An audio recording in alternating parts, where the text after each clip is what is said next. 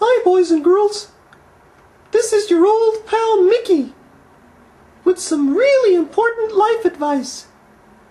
You know that mouse that eats peanut butter without looking to see where that peanut butter is smeared? Don't be that mouse. Well, rigor mortis is setting in. So I gotta go now.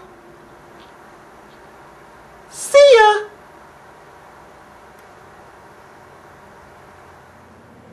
Hi, boys and girls. This is Mortimer, Mickey's brother. I didn't listen to Mickey's life lesson the other day, and I got killed too. Boy, this guy sure has some good mouse traps.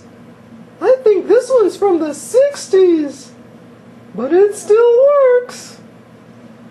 Oh, why, oh, why did I eat that peanut butter?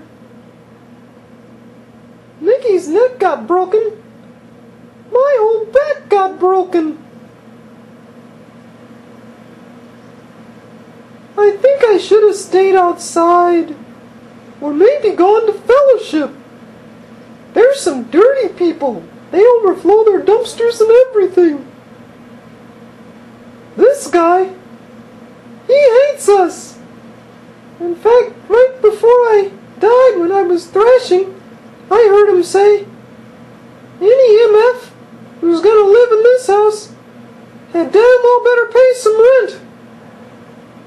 I guess I should have listened. Well, rigor mortis is setting in. Bye bye. Hi, folks. This is Minnie, Mickey's girlfriend and Mortimer's ex. But we're all still very friendly. It's one of those menage a troises like they got in the movies. But my first husband, a real rat. He was very, very jealous.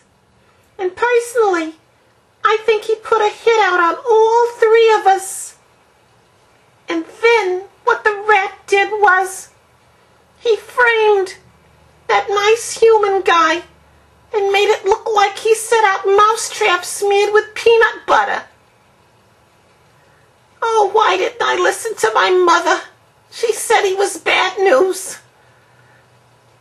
Oh, well, nothing I can do about it now. Well, I'll be with Mickey and Mortimer up in mousy heaven. And we can live happily ever after. Well, I got rigor mortis now, so I'll see ya.